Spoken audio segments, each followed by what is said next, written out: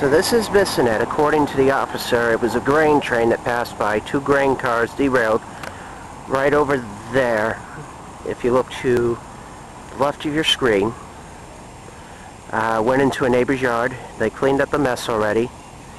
And, um, yeah, this is what Amtrak had to go by tonight.